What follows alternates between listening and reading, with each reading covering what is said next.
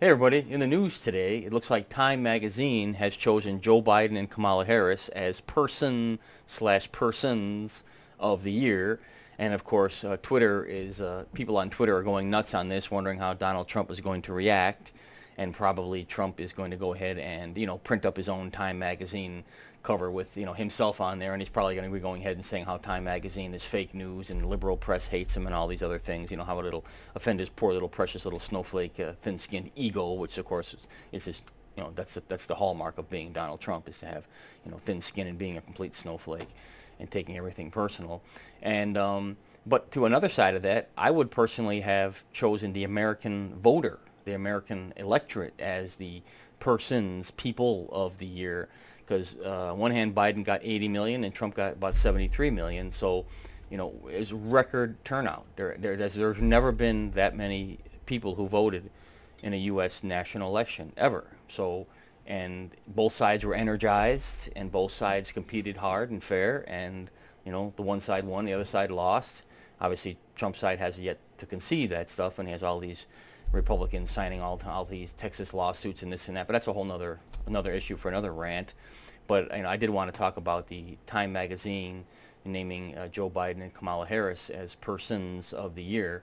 And I don't know what you all think about it, but yeah, I would have chosen the American electorate. I would have said the American voter was the persons of the year just because of the sheer numbers of voters that happened. I mean, if you take 80 million on Trump's side and 73 million excuse me, 80 million on Biden's side and 73 million on Trump. Well, 8 and 7 is 15 to 3, so we're at, we're at, you know, in excess of 150 million people went ahead and cast a vote, whereas, you know, Obama, I mean, he was getting in the 70 million range, and, and, you know, McCain and Romney were getting in the 60 millions and stuff, so we were talking maybe 130 million, something like that. So it looks like there's about 20 million more people voted this time around.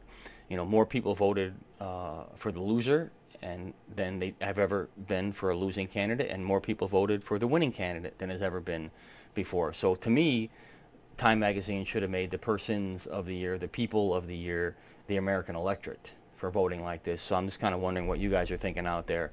I think maybe Time went ahead and just made this, maybe because they want to get rid of Trump and they're happy that they got rid of Trump, but it's not really Biden and Harris that got rid of Trump. It's the American electorate. It's the voters, the 80 million voters who voted for Joe Biden.